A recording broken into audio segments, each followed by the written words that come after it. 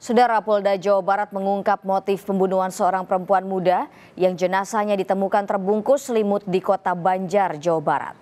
Direktorat Kriminal Umum Polda Jawa Barat mengungkap motif pembunuhan Indriani Dewi Eka yang jenazahnya ditemukan terbungkus selimut di Dusun Cilengkong, Banjar, Jawa Barat. Pelaku yakni DA, DP, serta DR membunuh korban karena faktor cinta segitiga. DA yang tengah berhubungan dengan korban ingin kembali menjalin hubungan dengan DP. Tetapi DP meminta agar DA terlebih dahulu menghabisi nyawa korban.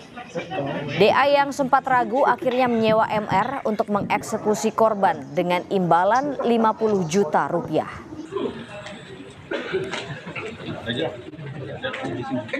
Motif dari perkara ini adalah cinta segitiga antara tersangka DA, tersangka DP, dan korban Indriana Dewi, serta tersangka ingin menguasai harta korban. Sedangkan tersangka MR ikut merencanakan sekaligus eksekutor. Ayah korban berharap majelis hakim menjatuhkan vonis hukuman mati terhadap ketiga pelaku pembunuh anaknya. Diketahui korban ditemukan tewas di kota Banjar, Jawa Barat usai dibunuh di dalam mobil di kawasan Bukit Pelangi, Bogor, Jawa Barat lantaran dilandasi cinta segitiga.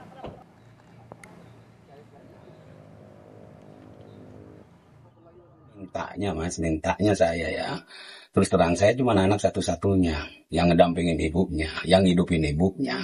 Anak saya udah direncana, udah direncana anak saya. Pokoknya saya mintanya hukuman yang setimpal atau hukuman mati gitu aja saya. Itu aja mas saya sebagai bapaknya. Apalagi anak saya udah nggak ada. Itu aja. Mintanya mas saya mas. DP yang menjadi otak pembunuhan Indriana Dewi Eka diketahui merupakan caleg dari salah satu partai peserta pemilu 2024. Dalam rilis yang digelar Polda Jawa Barat, DP mengaku bersalah atas pembunuhan Indriana Dewi Eka.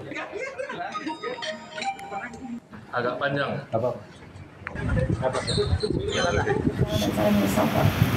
Isinya apa? Lupa dong. Gimana keluarganya? Cantik. Makanya dibuka. saya meminta maaf untuk korban dan keluarga korban karena keluarga saya Buka tisunya mbak.